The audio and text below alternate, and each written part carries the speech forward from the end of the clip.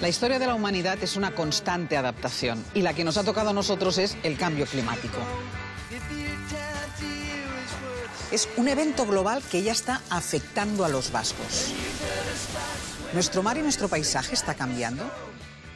¿Pueden desaparecer las estaciones del año? ¿Se impondrá una economía diferente? ¿Qué podemos hacer para mitigar sus efectos? ¿Estamos a tiempo? Muchas son las preguntas y tenemos algunas respuestas. Acompáñenme en el cambio.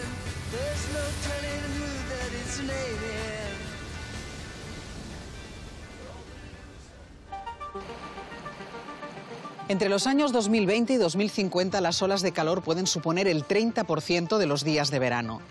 Se darán condiciones propicias para que especies que afectan a la salud pública como el mosquito tigre o las ratas se expandan por Euskadi.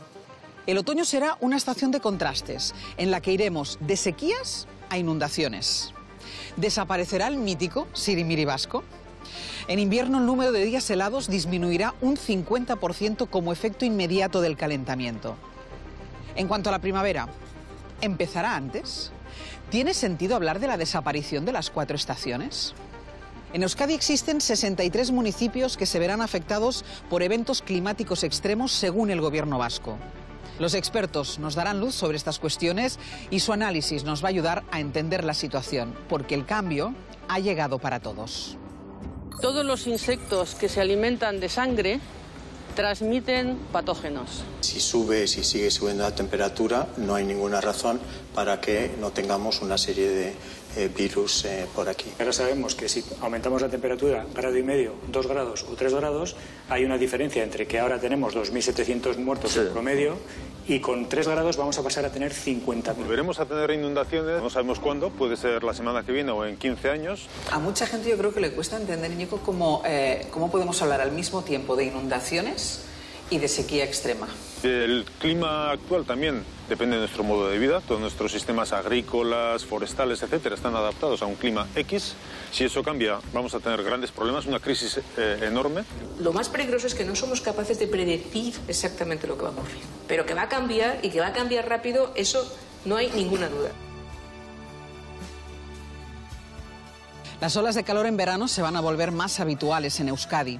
En las próximas dos décadas se prevé que las olas de calor extremos supondrán el 30% de los días de verano. ¿Y cómo va a afectar esto a la salud de las personas? ¿Cómo va a afectar este aumento de la temperatura? ¿Es cierto que las plagas de insectos van a ser más activas y más intensas? Todos los modelos climáticos, los escenarios futuros, hablan de un ascenso de, las temperaturas medias y también un ascenso en la frecuencia, la duración y también la severidad de las olas eh, de calor en el futuro. Así podríamos eh, estar en un escenario en el que podamos eh, partir ahora de en torno a principios del siglo XXI, en torno a una o dos olas de calor de media eh, anuales, pasar a tres o cuatro olas de, calor media eh, a mediados del siglo XXI, incluso cinco o seis olas de calor de media anuales a finales del siglo XXI. Una de las medidas para adaptarse a este incremento de la temperatura en la que ya estamos trabajando es en el mapeo e identificación de una red de refugios climáticos a lo largo de la ciudad.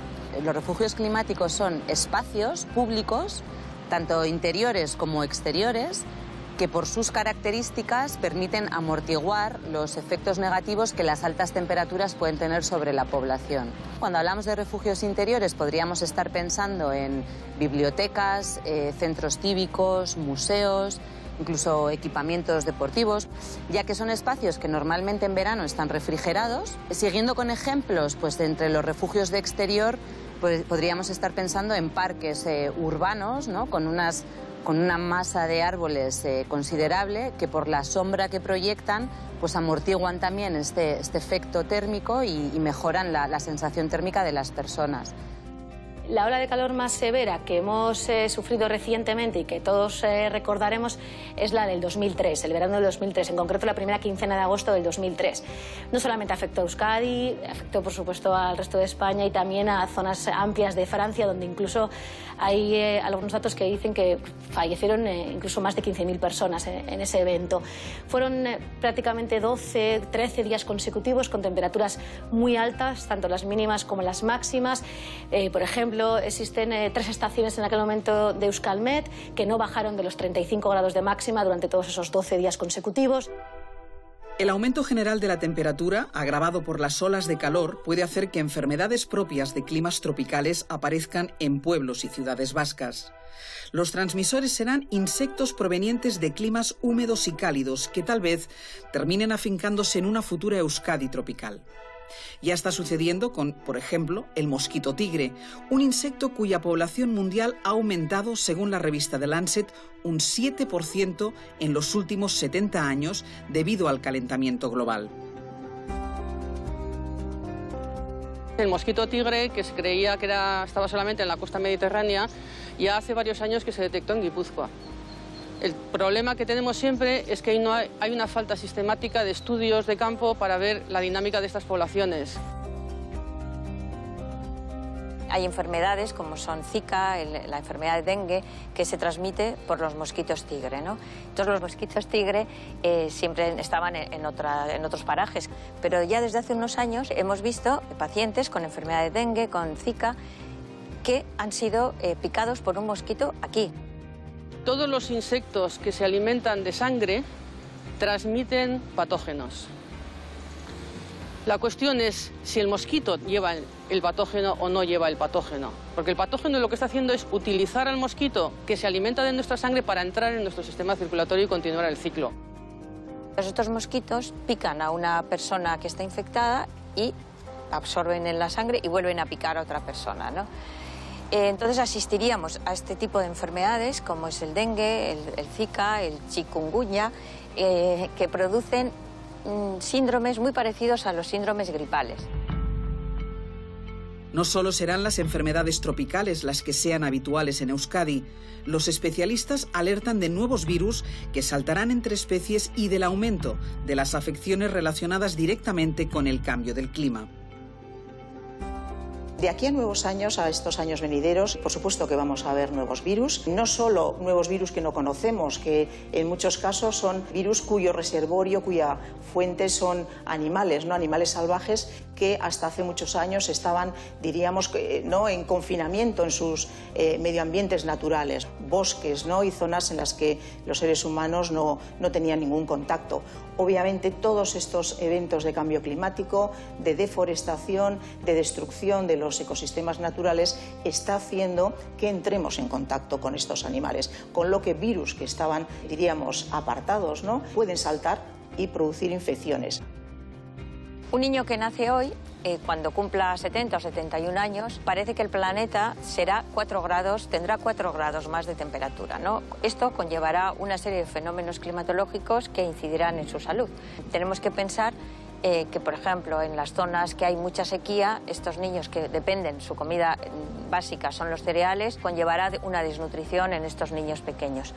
Durante la infancia posterior y la adolescencia estarán sometidos también a, muchas infecciones consecuencia del, agua, de las lluvias torrenciales y la exposición a la contaminación desde la niñez incide en el desarrollo de enfermedades respiratorias, con lo cual este niño que nazca en un sitio subdesarrollado, en un sitio con problemas, en poblaciones vulnerables, su esperanza de vida estará recortada.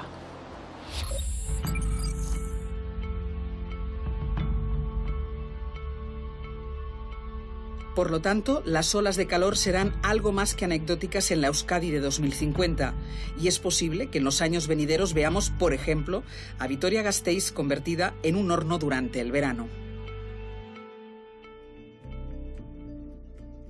Pues eh, en principio el ascenso de las temperaturas, eh, los modelos indican que va a ser más elevado cuanto más al sur nos encontremos. Por lo tanto, en principio, eh, digamos que la zona de Rioja Alavesa, la zona alavesa, sería la más afectada.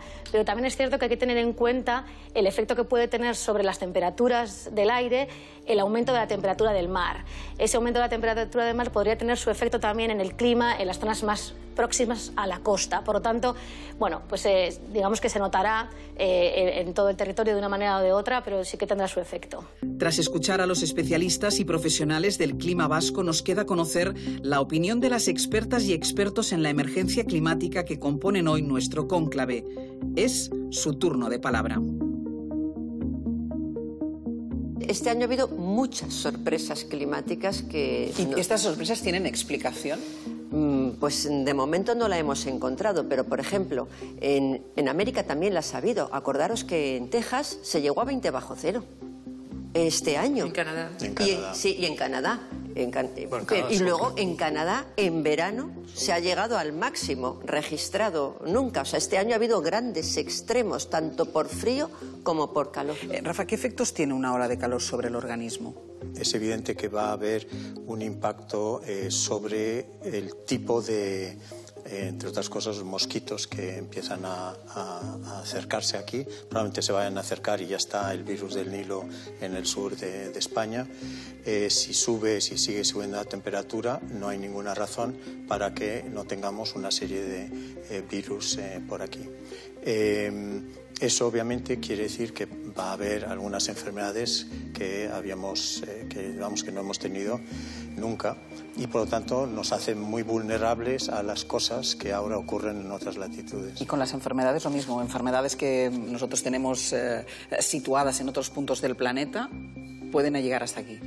Sí, bueno, yo creo que las primeras que vamos a ver son estas, las vinculadas, a, los, insectos. que van a, acercarse por aquí. Eh, otras enfermedades eh, es posible que las veamos, pero yo creo que lo que vamos a tener simplemente eh, la subida de temperatura puede crear, obviamente, olas de calor y una mortalidad más alta. Muertos por olas de calor ha habido toda la vida siempre lo ha sabido. ¿Qué es lo que pasa? Que ahora sabemos que si aumentamos la temperatura grado y medio, dos grados o tres grados, hay una diferencia entre que ahora tenemos 2.700 muertos en promedio y con tres grados vamos a pasar a tener 50.000 muertos. Entonces, ¿eso qué significa? Tendremos eh, más o menos muertos en función de cómo de vulnerable sea nuestro sistema o cómo expuesta esté la población. Y eh, porque además ha sucedido, yo creo que ha sido, que ha sido este año, ¿no? Eh, que el deshielo haya activado algún virus o alguna bacteria que estuviera congelada? Nos, gusta vernos como fuera de la naturaleza. Eh, nos está diciendo este virus que hemos tenido este año y estas tormentas que tenemos y estos incendios que estamos dentro de la naturaleza, como dicen unos. Entonces, eh, hay muchas personas que están empezando a explorar estos virus para ver si los vuelven a animar. Eh, hay gente incluso que está jugando, obviamente, con restos genéticos de prehistóricos. Es gente jugando a cosas un poquito peligrosas. Pero sí ha habido en Tibet hace poco una descongelación de eh, de hielo y, hay 15.000 virus que no han estado con nosotros, que no sabemos qué efecto puedan tener y que es mejor recongelar. es mejor no tocarlo. Hay un cambio y hay unos peligros que incluso lo más peligroso es que no somos capaces de predecir exactamente lo que va a ocurrir. Pero que va a cambiar y que va a cambiar rápido, eso no hay ninguna duda. La relación entre la pandemia y el clima está cada vez más más interactuado. Y eh, simplemente lo que parece que ha ocurrido es eh, problemas de clima, el bosque se empiezan a cargar el bosque, concretamente en esta parte de China, nos vamos el efecto dominó hacia unos murciélagos con unos virus, estos virus ya no tienen el bosque, se acercan a la ciudad. Eh, infectan a humanos y los humanos a humanos, y todo eso con un virus nuevo. Por lo tanto, ahí se han creado condiciones de dominó muy buenas, pero que tienen relación con el clima en términos originales. ¿Qué será del típico sirimiri? Es verdad que Euskadi sigue siendo un lugar en el que llueve mucho, pero ¿Es como antes? Al igual que pasa con las olas de calor, las lluvias se concentrarán dando lugar a fases de sequías e inundaciones. Las escasas precipitaciones en Euskadi el pasado mes de julio, calificado de muy seco por Euskalmet, han dejado, por ejemplo, los embalses vascos por debajo de la media de la última década. Los pantanos vascos se secan, poniendo en peligro el suministro para la población. Hemos analizado los últimos 60 años eh, de datos de caudales existentes y lo que hemos visto es que los caudales en las últimas décadas han descendido en general, han descendido en todas las estaciones del año, pero especialmente han descendido al principio del otoño.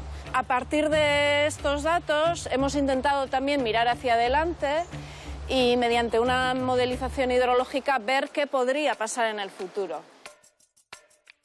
Se estima, según los modelos climáticos, que las precipitaciones a finales del siglo XXI se van a reducir hasta un 15%. Posiblemente haya un repunte de las precipitaciones al final del verano, que habrá que ver cómo afecta definitivamente a los balances hídricos. Lo que hemos visto es que hacia un futuro más lejano, de dentro de 60, 90 años, esos horizontes, también eh, observamos un, descenso generalizado de los caudales en todas las estaciones del año y también a escala anual. Y que ese descenso pues, es cada vez más acusado. Aunque en el pasado Euskadi ha sufrido episodios de sequías, lo cierto es que no han sido muy abundantes en el tiempo. Afortunadamente llueve mucho y de forma constante. Pero, ¿y si este ciclo de lluvias se ve alterado? Dependemos de tener agua en los embalses para beber y para regar los cultivos. Las sequías no son un fenómeno ajeno al País Vasco. En otoño del 2011, la sequía en la vertiente cantábrica obligó a declarar un estado de prealerta y se tuvieron que tomar ciertas medidas como la de dar a la población recomendaciones de un uso responsable y moderado del agua. De acuerdo con los resultados que tenemos, no podemos concluir categóricamente que va a haber una mayor incidencia de las sequías en el País Vasco. Lo que sí parece razonable pensar es que va a haber sequías más intensas de las que conocemos hasta ahora. El sistema climático y los sistemas naturales en general suelen tener una inercia que suele ser difícil de parar. Esto evidentemente va a traer consecuencias en lo que es el abastecimiento de agua, ¿no? Al final del estiaje es cuando los embalses eh, eh, están más vacíos y claro, el hecho de que entre menos agua pues puede ocasionar algunos, algunos problemas. Hemos visto los muchos cambios que habrá en Euskadi, pero hay algo que no variará, y es la estampa de un país en el que llueve mucho. Las predicciones nos sitúan en un escenario en el que las precipitaciones disminuirán en los meses de verano entre un 30 y un 50%, pero aumentarán durante los meses de invierno entre un 5 y un 20%, según el Departamento de Desarrollo Económico, Sostenibilidad y Medio Ambiente. Y posiblemente sean precipitaciones más torrenciales. ¿Volveremos a tener inundaciones? Eh, alguien pregunta si se repetirán las inundaciones del 83. Por supuesto, sí. Volveremos a tener inundaciones tan grandes y mayores. Ahora, cuanto más se calienta el clima, eh, los eventos de precipitación serán más fuertes. Bueno, no sabemos cuándo, puede ser la semana que viene o en 15 años. Eh, otra cuestión es si volveremos a tener tantos muertos, etcétera. Eso depende no tanto de cuánto llueva, sino de las medidas que adoptemos, especialmente de sistemas de alerta temprana y luego especialmente de cómo organizamos nuestros planes urbanos. Cuanto menos construyamos en las márgenes de los ríos, en las zonas inundables, pues tendremos menos desastres. Sobre todo en el País Vasco, el problema principal que vamos a tener es de inundación. O sea, la ría del Nervio Iberizábal, que es una de nuestras rías principales, la ría de Bilbao históricamente siempre ha sufrido inundaciones, lo que se llamaban los famosos aguaduchos. Si ponemos en perspectiva la zona de Zorrozaurre, la zona del paseo de la ría, incluso las zonas de paseo hasta el propio puente Vizcaya, son zonas que se van a ver aumentado su riesgo de inundación. Y son zonas por donde pasan hoy en día carreteras, donde hay pisos, donde hay viviendas cuando estamos eh, preocupados por aquello que ocurre en el río, ya sean sequías, ya sean inundaciones, tenemos que mirar siempre más allá del río y ver lo que estamos haciendo en el resto de la cuenca. Es verdad que cuando en un río pues construimos en su llanura de inundación, como bien dice el nombre, llanura de inundación, es una parte del río y estamos quitando espacio al propio río, con lo cual el día que lo necesite lo va a intentar recuperar. No se puede parar el cambio climático, o sea, va a seguir cambiando el clima durante algunas décadas, seguramente durante algunos siglos, lo que podemos hacer es que ese cambio sea no muy grande o que sea mucho mayor. Cuanto más tardemos en tomar medidas, eh, la situación será más grave. La relación de Euskadi con la lluvia es tan especial que incluso le ha puesto nombre a un tipo concreto, el sirimiri. Pero si el clima puede cambiar drásticamente en Euskadi, ¿seguirá existiendo esta lluvia fina?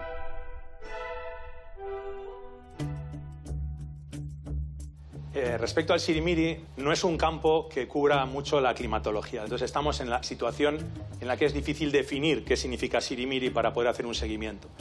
Si englobamos eh, el concepto Sirimiri como un registro de precipitaciones débiles, tendríamos que decir que tampoco en ese caso hay ninguna constatación de que haya disminuido el número de días de Sirimiri. De hecho, este verano todos los que han estado en la franja más litoral han podido comprobar cómo todavía son recurrentes esos días de Sirimiri.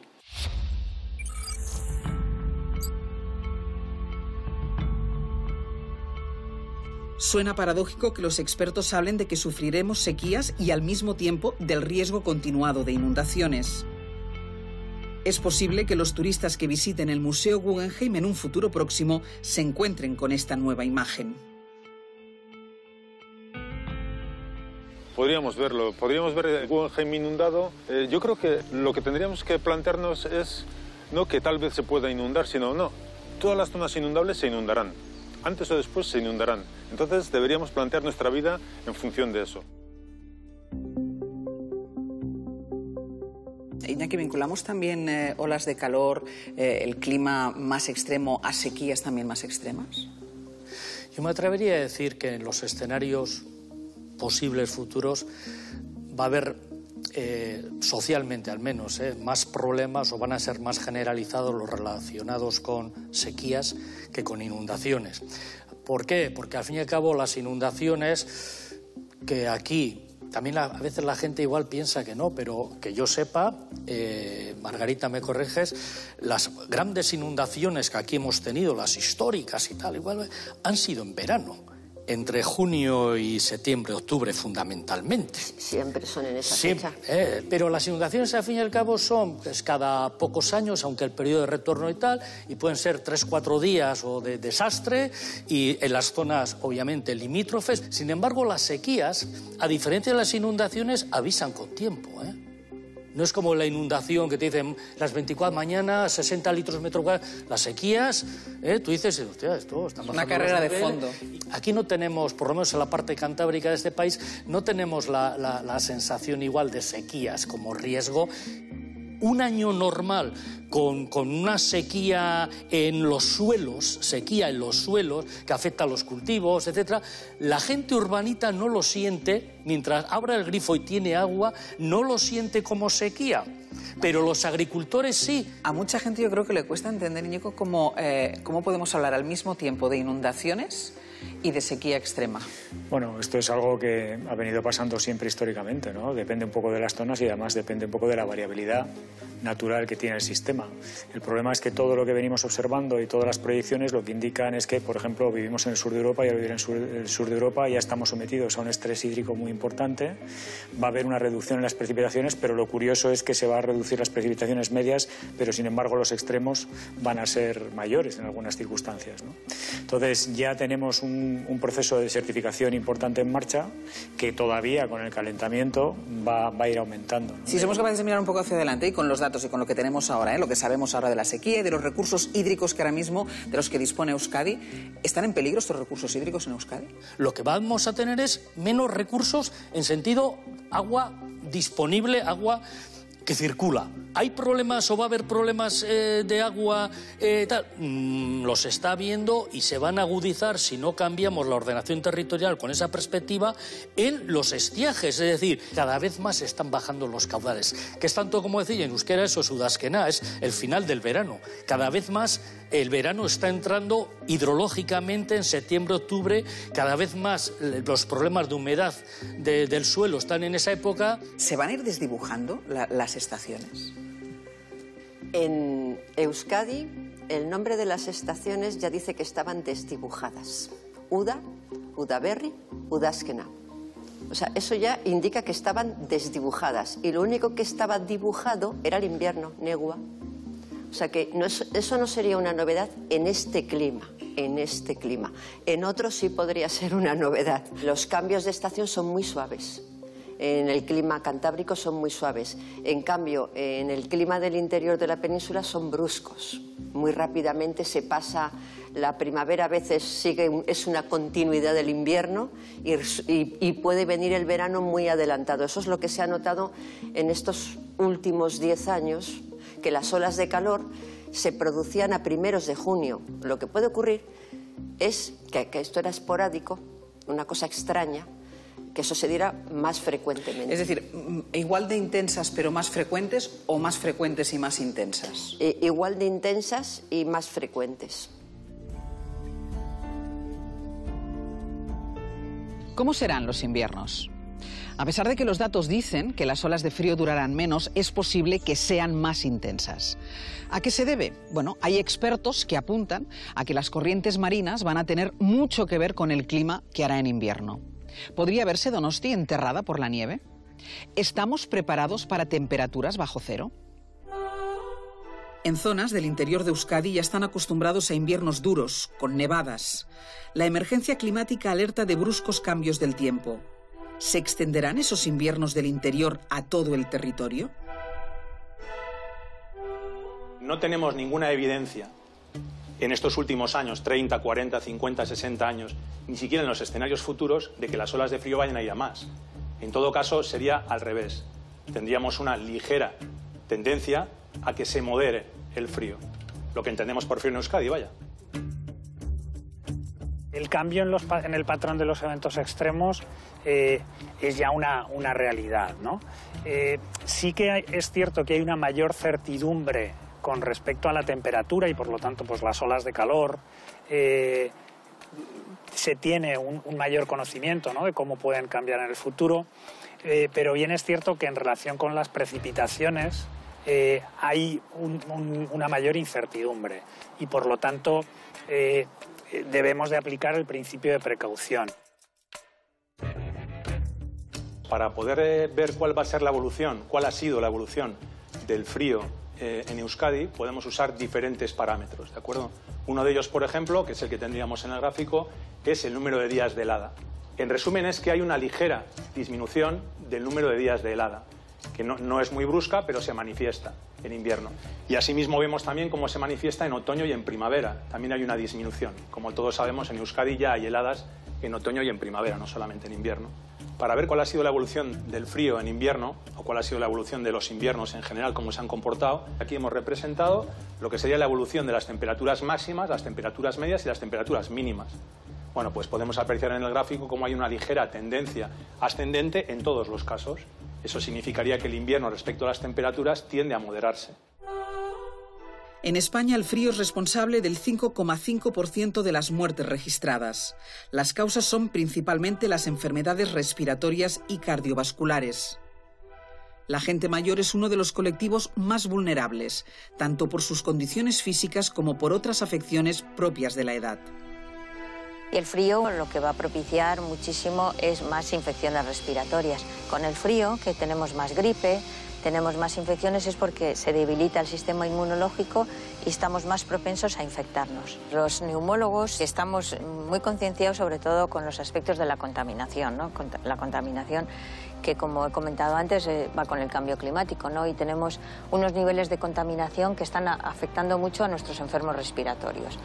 Y lo que sí que estamos intentando es ya eh, establecer pues, programas de educación, recomendaciones a los pacientes que tienen una enfermedad respiratoria crónica, que son los pacientes más afectados por la contaminación y el cambio climático. Los eventos extremos del clima, como parte de la emergencia climática, son causantes del aumento de la brecha económica entre ricos y pobres. Términos como el de pobreza energética comienzan a ser demasiado familiares.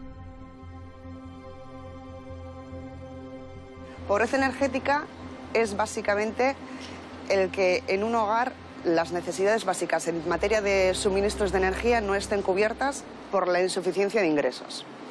Es decir, que una familia eh, tenga que elegir o llenar su nevera de alimentación adecuada o calentar el hogar. Desgraciadamente, el cambio climático provoca cada vez más grandes desigualdades en rico-pobre. Unas temperaturas extremas, bajas o humedades prolongadas en el hogar, al final lo que provocan son enfermedades físicas que a la larga pueden llegar a ser enfermedades mentales y sobre todo eh, afecta a bebés, adolescentes y personas mayores.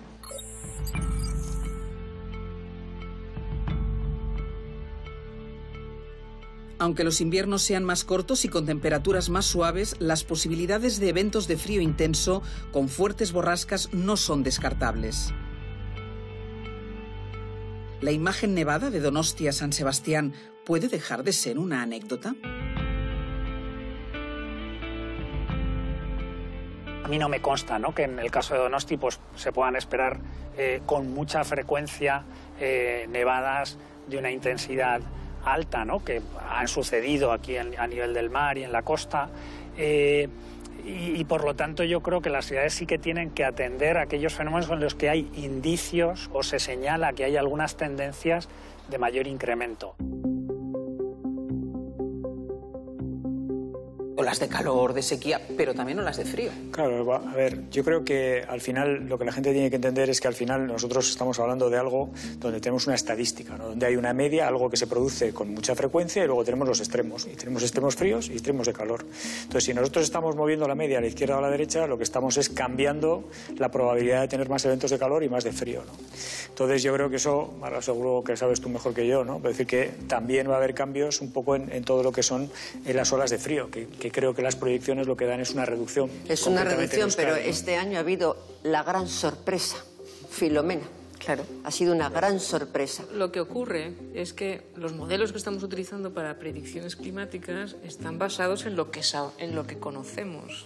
Entonces, si el sistema cambia y no somos conscientes de qué es lo que está cambiando, es muy difícil que el modelo que está pensado en base a las series históricas y a los procesos que conocemos prediga el futuro. Bueno, en Euskadi tenemos 100.000 vascos y vascas que viven en zonas inundables. tenemos muchos más. Bueno, muchos más en las zonas, bueno, diferentes muchos más de, de Luego 100 puntos de alto riesgo de inundaciones, ¿no?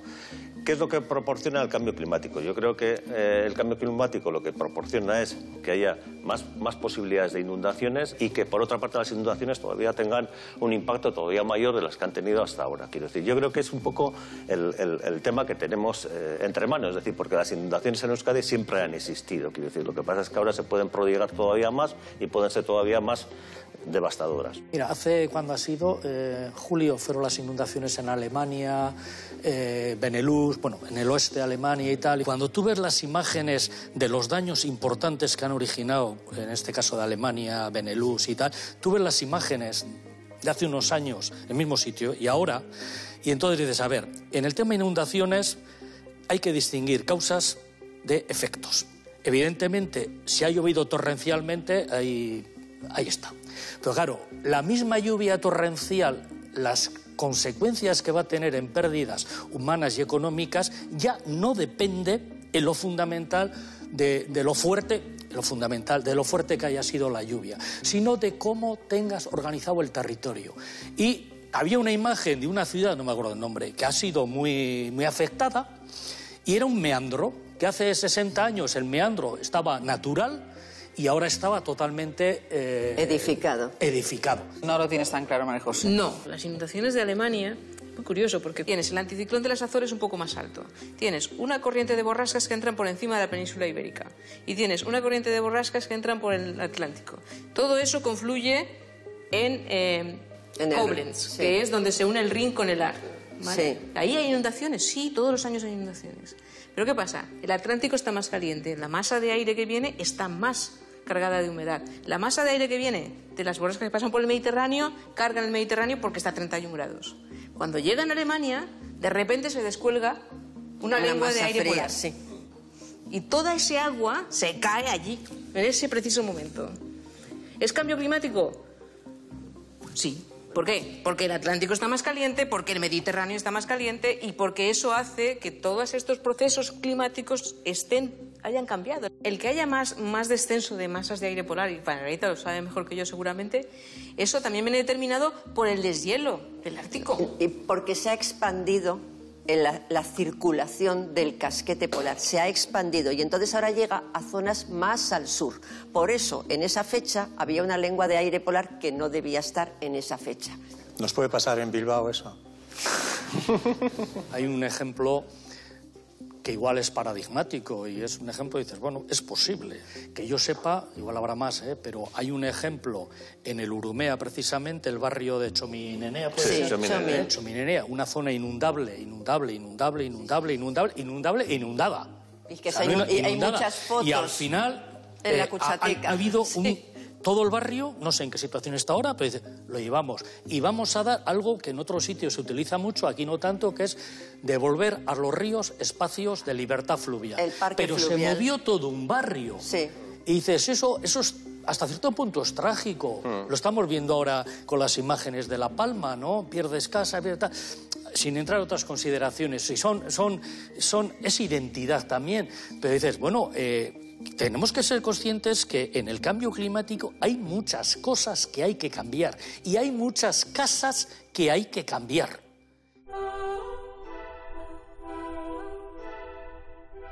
Las estaciones son determinantes para especies vegetales y para animales. A los seres humanos nos afecta también en muchos aspectos, las hormonas, por ejemplo, el sistema inmune o nuestro carácter.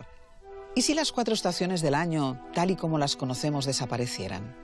¿Qué efectos puede tener sobre el ecosistema? La primavera en el lado atlántico está siendo bastante variable. Hay años en los cuales tenemos una primavera muy lluviosa, hay años que es, más seca, pero lo que estamos viendo cada vez de forma más consistente es que el verano se alarga mucho y dura, desde el punto de vista de los ríos, por lo menos los caudales bajos duran prácticamente hasta fin de año o incluso hasta, hasta enero. Entonces, esto desde el punto de vista de los organismos es importante porque están acostumbrados, están, han evolucionado en un clima determinado. Por ejemplo, eh, salmones, truchas, etcétera, eh, en otoño migran río arriba para, poner los huevos en las partes más, altas de las cuencas. Y ellos tienen una, señal de, una serie de señales, como un aumento de caudales, aumento de turbidez, etcétera, que les dice que es la época de migrar. Si eso no ocurre, no pueden migrar. Entonces, eh, parten todos sus ciclos vitales.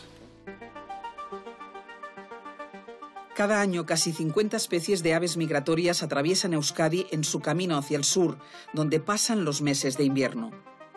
Algunas de ellas se toman un descanso en parajes como el pantano de Ullibarri o en los humedales de la reserva de la biosfera de Urdaibai, un ciclo que se ve alterado por la emergencia climática.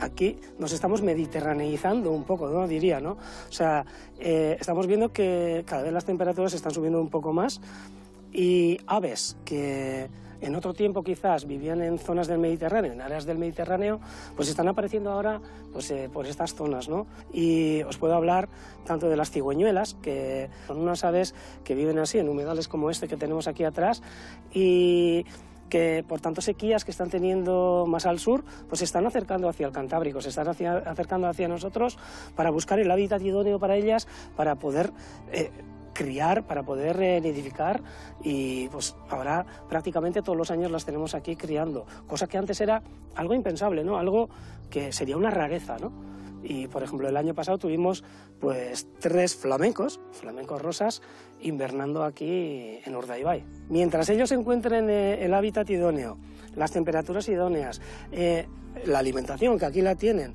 pues bueno, pues es una zona donde se pueden expandir, ¿no?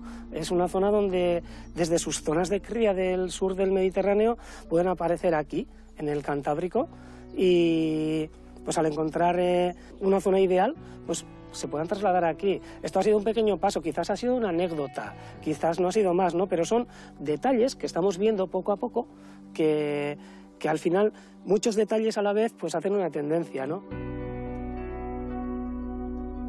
Es importante que no cambie o minimizar el cambio, por un lado porque del clima actual también depende de nuestro modo de vida, todos nuestros sistemas agrícolas, forestales, etcétera, están adaptados a un clima X. Si eso cambia, vamos a tener grandes problemas, una crisis eh, enorme. Y luego también porque nuestra vida depende en último término de la biodiversidad. Respiramos oxígeno y el oxígeno está en la atmósfera porque lo producen las plantas.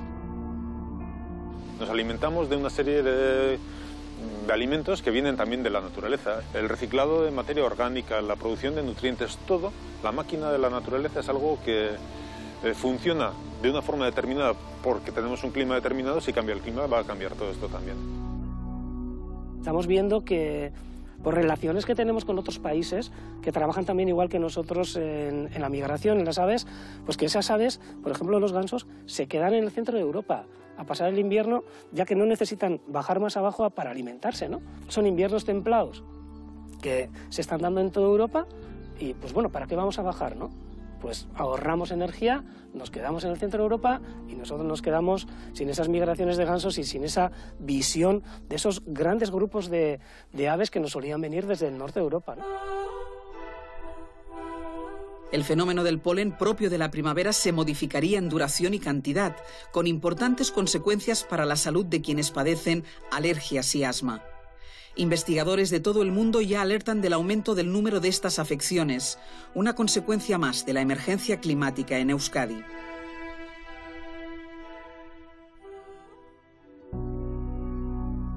En la época de polinización, aquí más típica que es mayo, junio, nuestras primaveras no son primaveras secas, sino que son primaveras con cuatro días buenos y dos días malos en los que llueve o en los que hace peor tiempo. Con lo cual, en esos dos días el polen disminuye mucho, desaparece por el efecto de la lluvia, las personas no lo respiran y, se encuentran entonces mejor. Si la temperatura ambiente aumenta y la forma de pluviosidad también cambia, de tal forma que va a ser más escasa y más en forma torrencial, va a haber más días en los que no haya lluvias, más días de polen, más días de síntomas. Yo creo que el cambio climático nos, va nos, pone una, una, situación preocupante. Primero como especie, porque si, si esto sigue adelante, eh, nuestro sistema, nuestro medio ambiente, nuestro medio vital, nuestro planeta puede no soportar eh, esta, esta carga y en definitiva ser un factor de riesgo para desaparecer como especie. Y de forma menos dramática, eh, desde luego, los factores que están induciendo ahora el cambio climático son factores, todos ellos, predisponentes para desarrollar nuevas alergias y formas más intensas y más prolongadas de, síntomas de las, de las patologías alérgicas.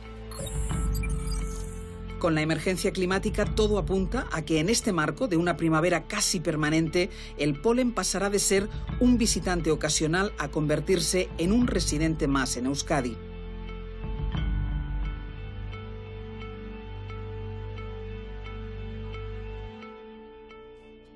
Como consecuencia del cambio climático, la temperatura ambiental va a aumentar. Esto significa que ya las temporadas eh, de polinización, las temporadas en que hay polen en el ambiente, se están alargando como unos, por lo menos 20 días antes, lo que supone por lo menos un 20% más de, prolongación en la estación de polen y además condiciona que aumenta el número de pólenes en el ambiente.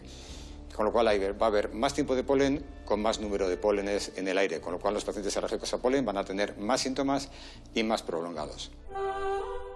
Por supuesto, no solo aumentarán las enfermedades físicas por culpa de la emergencia climática, la salud mental, esa gran olvidada, ocupará uno de los primeros planos en la asistencia sanitaria. ¿Qué efecto tiene también todos estos eventos no adversos en relación con el cambio climático y la salud mental? Eh, claro, realmente eh, estamos viviendo todos los daños que produce ¿no? Eh, sobre el aire limpio, alimentos seguros, agua, ¿no? vivienda digna. Eso está creando realmente problemas de incertidumbre y también, en muchos casos, movimientos de la población tienen que abandonar sus viviendas, tienen que abandonar sus medios de vida y en muchos casos pues vivir en campamentos ¿no? de personas refugiadas, etcétera. Todo esto influye muchísimo en la salud mental.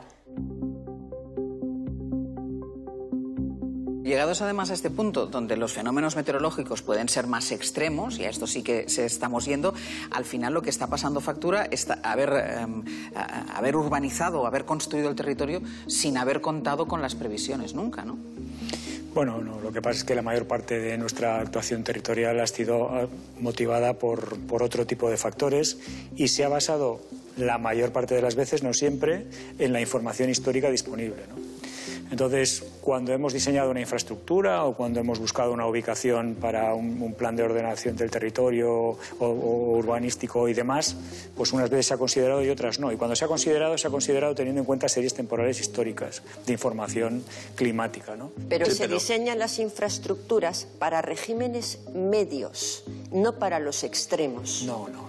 no. Porque, por las ejemplo... infraestructuras de defensa de la costa generalmente se eh, diseñan para extremos tú no puedes diseñar para el evento más extremo histórico. Es que ese es el porque problema. no te lo puedes permitir. Porque si ahora estamos diciendo que esos eventos extremos van a ser más frecuentes, hay que diseñar para el evento, para el evento más extremo que pueda haber. Eso encarece enormemente la infraestructura o prácticamente la hace imposible. y porque los periodos de retorno de estos eventos eh, pues eran relativamente grandes. Largos. Eh, el problema es que si estos periodos de retorno se acortan, que es lo que es, que, es muy, digo eso. lo que va a ocurrir, o sea, ya no digo que sea probable, va a ocurrir entonces tenemos, el problema se agranda. ¿no? en el último informe del IPCC, eh, el concepto de periodo de retorno es muy importante en ingeniería, porque es el que nos sirve para diseño. ¿no? Y la mayor parte de las protecciones se diseñan, pues, por ejemplo, para 100 años de periodo de retorno, eventos de 100 años de periodo de retorno. Bueno, pues en el último informe del IPCC que se hizo sobre océanos, se demostró que hay muchas zonas del mundo que ahora lo que tiene un periodo de retorno de 100 años, es decir, que ocurre con una probabilidad de uno, digamos, cada 100 años, con aumento de nivel del medio del mar por diferentes, en función del escenario, iba a ser hasta anual. Sí, hasta anual, sí. Eso evidentemente es una transformación absoluta. Con los virus también. ¿eh? Claro, igual. Ha, habido en los últimos, desde el 45, 1945 hasta ahora, 350 saltos del mundo eh, animal, de, un virus animal al mundo humano. No se han convertido todos en una pandemia, obviamente, pero seis o siete sí. Entonces está acelerándose el número de virus que andan saltando al mundo. Pero obviamente tiene que ver con nuestra forma de, relacionarnos con la naturaleza, las ciudades, etc. Pero eh, el, el, número eh, de virus que están saltando del mundo animal al mundo humano eh, se está acelerando y se está multiplicando. Es decir, quizá no será habitual, pero sí veremos más pandemias como la que hemos vivido, por ejemplo. No, eso seguro. Por eso ahora tenemos que eh, prepararnos para la siguiente. Nos tenemos que acostumbrar, obviamente, a convivir con el riesgo, pero ese virus se queda con nosotros. Eh, pero eso no quiere decir, volviendo a lo que dice María José, que hemos atacado el problema original. Los virus van a seguir. Yo estoy de acuerdo, Rafa, con lo que dices, digo, ¿no? Y bueno, ha habido errores y tal y cual, la vacunación ha sido extraordinaria y todo ese tipo de cuestiones, y a nivel un poco de pandemia, pero de todas maneras a nivel de pandemia sí que se ha luchado, digo, ¿no? Y se han adoptado una serie de medidas muy drásticas con el confinamiento y tal y cual, cosa que no ha pasado con el cambio climático. Claro, es que quizá, El cambio climático andamos tardísimo y todavía no nos hemos puesto las pilas. Se ha hecho al revés, porque cada vez ha aumentado la deforestación, que es la que tiene relación posible, con, posible con el origen de la pandemia, eh, ha aumentado el CO2 más que nunca en la atmósfera, ha aumentado la acidificación de los océanos y lleva, se lleva 30 años haciendo avisos sobre el cambio climático. Y lo único que se ha conseguido es que aumentase la contaminación. El cambio climático lo que nos está haciendo es despertar y darnos cuenta de que tenemos que cambiar nuestro modelo de desarrollo, ¿vale? ¿Por qué? Pues que el modelo de desarrollo es responsable de las causas del cambio climático.